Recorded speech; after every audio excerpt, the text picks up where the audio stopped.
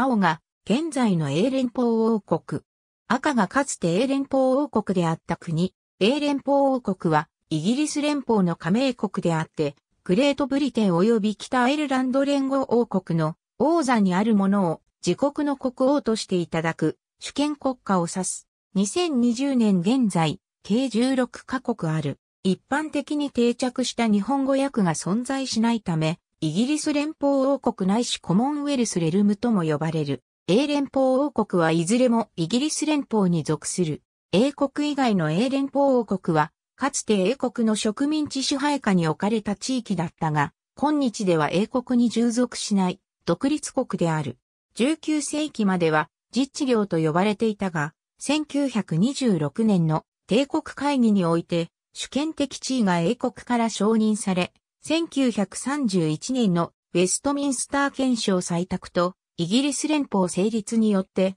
実質的に独立した。この時点ではイギリス国王への忠誠が自治領の条件として残ったが、1949年のロンドン宣言によってそれも不要となった。その頃から自治領の故障も用いられなくなり、新たに英連邦王国と呼ばれるようになった。この出来事はイギリス帝国の完全な解体を意味し、かつての自治領は名実ともに独立国として規定されるようになった。現在の君主は女王エリザベス2世であり、王位の法定推定相続人はウェールズ公、チャールズ王子である。各国間の関係は人的同訓連合であり、各国の地位は平等である。いずれかの国が他の国を優越しているということはなく、王位も独立している。したがって、例えばバハマの国家元首としての女王エリザベス2世は、英国女王ではなく、バハマ女王の名で君臨する。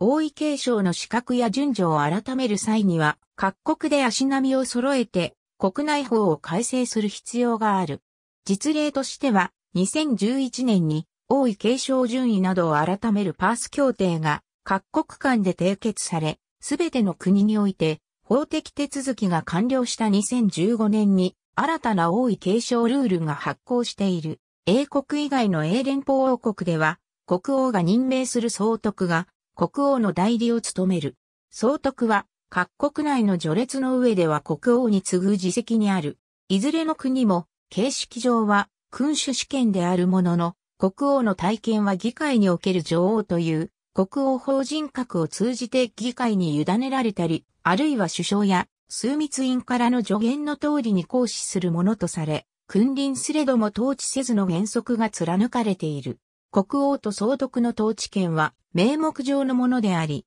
職務の多くが儀礼的、または形式的な行為である。また、総督の人選も各国内で行われ、各国政府から推薦された人物が国王から総督に任命される。各国とも政治形態は行政実務を首相が取り仕切る議員内閣制が取られている。共和制移行論が盛んな国もある。これらの地域はそれぞれ数十カ国に国家承認を行われている事実上の独立国だが、ニュージーランドと自由連合を形成するニュージーランド王国の構成国であり、ニュージーランド国王を君主とする。これらの地域は、イギリスの君主が別称号で統治するイギリスの王室属領であり、英連邦王国に所属する国家に含まれず、イギリス連邦にも参加していない。シエラレオネ女王記トリニダード・トバゴ女王記マルタ女王記、モーリシャス女王記、ありがとうございます。